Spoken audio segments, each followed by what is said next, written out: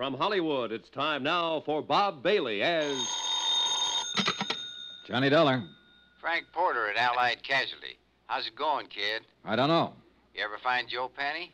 The harbor patrol found him floating around the harbor. He'd been shot and his feet were burnt. What? Gee whiz, torture. Well, what can I do to help? Find a girl who was once married to him? Joe Penny had a wife? Yeah, she wears a mink stole these days and carries a gun. She's tied up with it somewhere. Her name's Iris Carter. Iris Carter.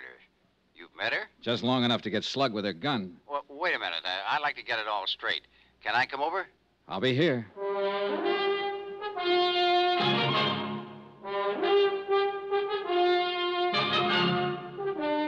Tonight and every weekday night, Bob Bailey in the transcribed adventures of a man with the action packed expense account. America's fabulous freelance insurance investigator. Yours truly, Johnny Dollar.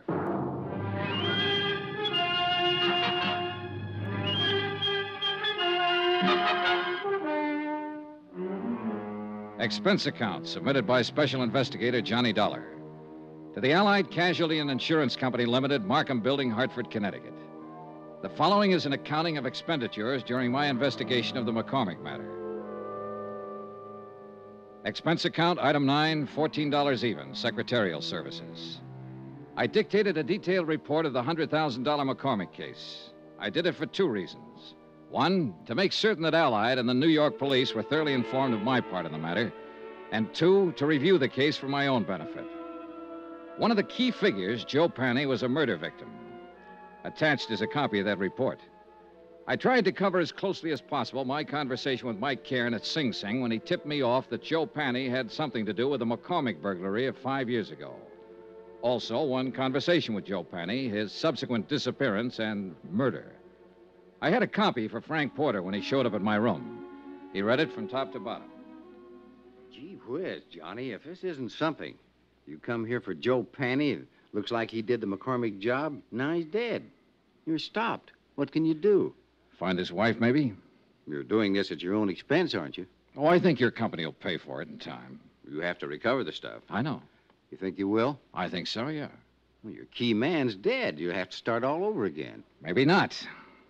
I don't really know whether Joe Panning was my key man or not. I still can't see a small time auto thief working a big, slick safe burglary. Every indication is that he was the one. I know. I'd like to find that girl, Iris Carter, and talk to her about it. She's connected with it. No, from what you say on the paper, yeah, very much. Oh, gee whiz, I feel like a fifth wheel. I'm not helping you a bit. You know, I handled this case for the company when it first broke. I worked with Lieutenant Martin for six months on it, and we didn't turn up a thing. You're on it three or four days, and you have all kinds of action. Well, I must have stepped in at the right time. Yeah. Johnny, Mm-hmm. somebody gunned Joe Panny down. Now, I know you like to work alone and do things your own way, but be careful if you stay on this. I get worried when somebody starts shooting. Oh, sure. I didn't get that, though. What? If I keep on this, I wouldn't let it go now if my life depended on it. I'm going to find that woman, and I'm going to find the stuff. Sure. Well, gee whiz. Don't let anything happen to you. I won't. I talked some more with Frank Porter about the case. He repeated his offer in the name of Allied Casualty to help if he could. I told him I'd take it up on it if anything came up at all. He left. I was at Central Police Station ten minutes later. And five minutes after that, Lieutenant Dools Martin was calling for the medical examiner's report on Joe Panny's death. A uniformed man brought it in. Martin shoved it across the desk at me. The ME says Joe Panny's been dead about 48 hours or longer. 225 slugs right through the chest, penetrated both lungs, one through the neck. It's very neat shooting at that range. What range? Oh, at least 20 feet, maybe longer. Not many people shoot 25s that well. It's a little gun. A woman's gun. Yeah. Yeah, that's what I'm thinking. Now, let's talk about that woman you saw around there that night. Now, you say it was Panny's ex. Yeah, Iris Carter. I don't know whether her gun was a 25 or 32. Well, think about I it. I have. Now, look, don't get sore with me. It's just that she looks like better than ever for opening this case up. I put her on in all points. Sorry I got riled. That's all right. Now, the ME thinks that Panny was killed before he was dumped in the water, possibly ambushed by someone he didn't know or didn't trust. If he's right about the range, that'd fit in. Someone who knew him would do it close up. Yeah. Hey, wait. You said his feet were burnt. Yeah, I got the pictures here to prove it. Yeah, take a look. And these are the glossies. Uh huh? Now, these are the burns here, Dollar. Right here. Here and here. Yeah. Then he wasn't ambushed exactly. Look, I don't know what he was. But this is the crazy part. He was already dead when this happened. No rope marks on his legs or wrists. You don't sit still for burning, no matter how tough you are. It's fascinating, huh? Someone shot him down, then tried to make it look like he was tortured for information first. Cover up. He's supposed to look like he knew something or had something. And maybe he didn't know or have anything at all. Well, how do you feel? Lousy. If the burning was cover up, then maybe the big search of his room was cover up too, to throw us Uh, off. uh, to throw you off. Not me. I wasn't in on it then. Yeah. Well, one thing that's genuine What's that? the corpse.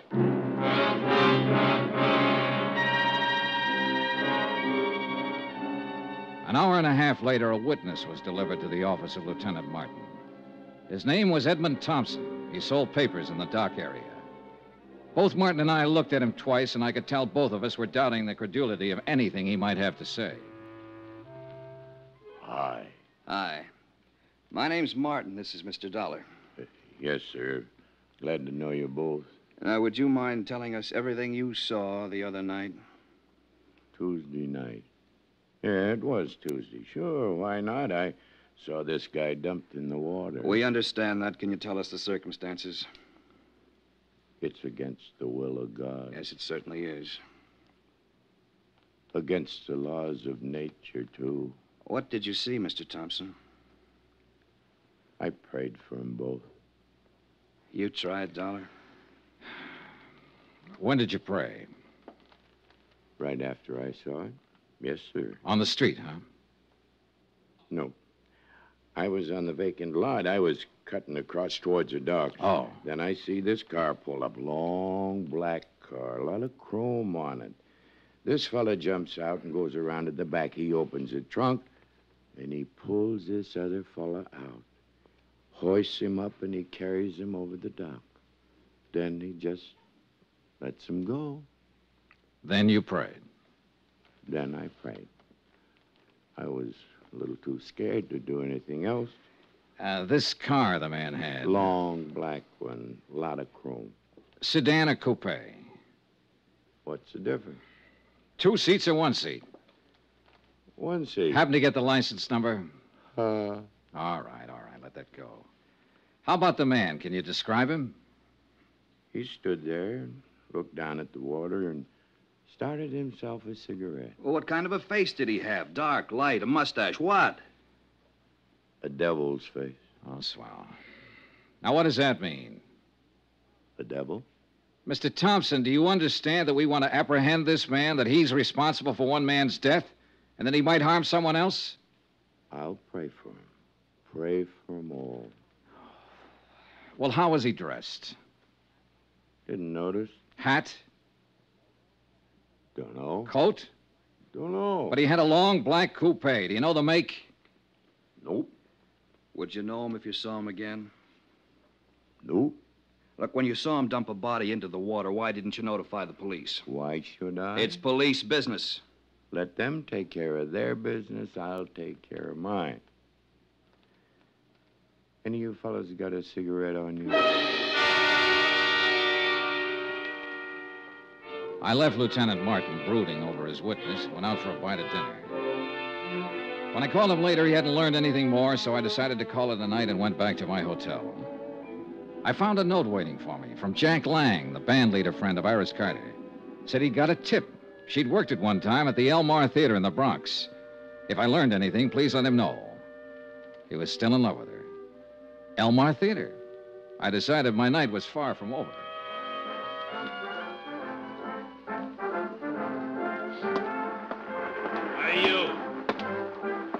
Buy a ticket out front if you want to look at the girl. I only want to see one. Her name's Iris Carter. Does she work here? I just told you, go buy a ticket out front. Just tell me this. Does Iris Carter work here? Is the name familiar to you? Have you ever seen her or heard of her? You give me any more trouble, I'll clutch. I told you go out front. Can't you answer a simple question? I'm looking for Iris Carter. Iris Carter. don't have to yell at mister. He never heard of it. What? Call me a cop, Gloria. This Never mind, guy's Pop. giving Never me. mind. I'll take care of him. Come on, you.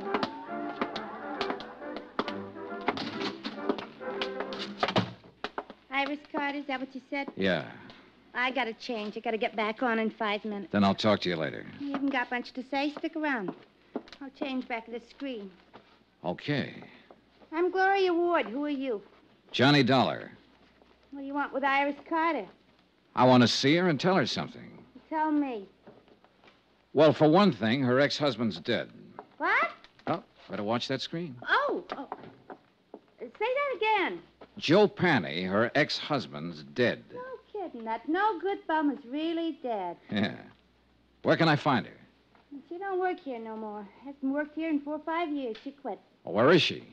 You took over from the old man out there when you heard me mention her name. You've satisfied yourself that I'm really looking for her, so suppose don't you. flip with me, mister. I'm not satisfied about anything. Where is she? She got herself married to a nice guy. Good for her. Is she in town? You sure you just want to see her and tell her Joe's dead? That's about it. I thought maybe she might be able to help me and the police find out who killed him. He was killed? Two days ago. They found his body today. How do you know about that? Are you a cop? I'm an insurance investigator. And you have to see her? You want it put in writing? Don't get in a huff. What I'm getting at is this. Quick change, huh? Now listen. Iris is good. You know what I mean? And she's married to a nice guy now. Will any of this make her trouble? Not if she hasn't done anything wrong. Well, I can tell you she hasn't. If it does make trouble, it'd be a shame. She's set up nice, and I like to see a girl set well, don't you? Certainly. I haven't seen her almost since she left here, but. Well, you look like a right kind of guy. I believe you. Thanks, Gloria. She lives out in Long Island now. Her name's McCormack. Iris McCormack. By the time I said goodbye to Gloria and walked out the stage door and got out into the alley, I thought I had most of it figured. The ex wife of an ex con married a wealthy Long Islander named McCormack. When the honeymoon was over, the safe was robbed. Walking out that alley, I was wondering whether to phone the police or Allied Casualty first.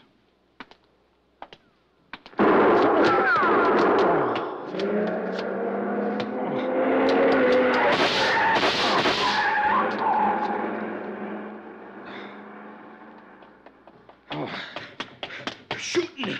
You've been hit. It isn't bad. Did you see him? I didn't see nobody. The car. See the car, the one that just gunned out. Oh, the car. we had, a long black coupe, a lot of chrome. A fella didn't have his lights on. Hey, that's against the law. Hey, you need help, mister. No. No, I'm all right.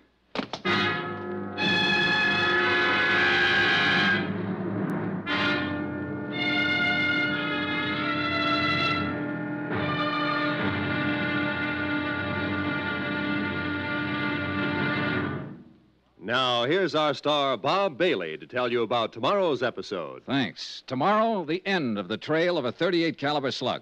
Join us, won't you? Yours truly, Johnny Dollar.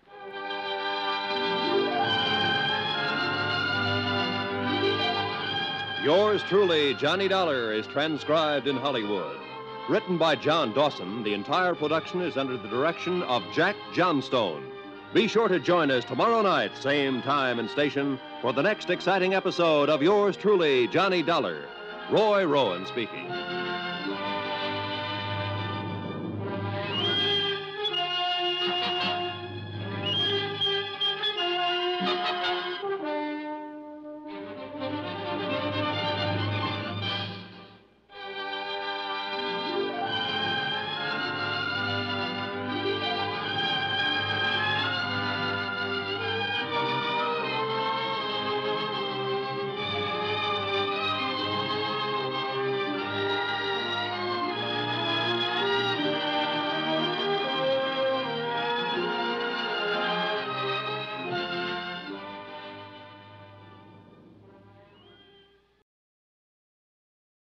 What's the easiest choice you can make? Window instead of middle seat? Picking a vendor who sends a great gift basket? Outsourcing business tasks you hate? What about selling with Shopify?